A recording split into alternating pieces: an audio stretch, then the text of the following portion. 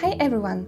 Today I'm going to show you how to perform trend analysis using Brand24. We'll walk through a real example demonstrating how to use its powerful features to uncover trends. First, let's create a new project. Suppose we want to analyze trends related to electric cars. We start by setting up a project with relevant keywords like electric cars, EV, and sustainable transportation.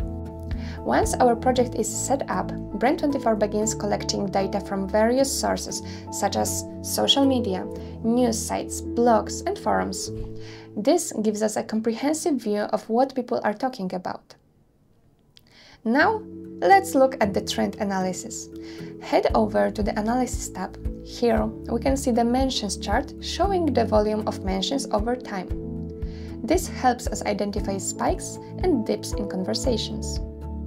Another great feature is sentiment analysis. It shows whether dimensions are positive, negative, or neutral, which is crucial for understanding public perception. Brand24's AI insights take it a step further. The AI analyzes patterns and anomalies in the data, offering predictions and recommendations. For example, the AI may suggest investigating specific issue or contacting dissatisfied customers if there's a sudden increase in negative mentions. Check out the Trends section to see what insights it gathers for your project. Next, let's use the Topic Analysis feature. It provides insights into the most frequently discussed subtopics within our main topic, helping us understand the context of the conversation in seconds. You can dig deeper and discover sentiment, popular sources, and so much more. This helps us pinpoint what specific aspects of electronic cars are trending. We can also use the influencer score to identify key influencers discussing our topic.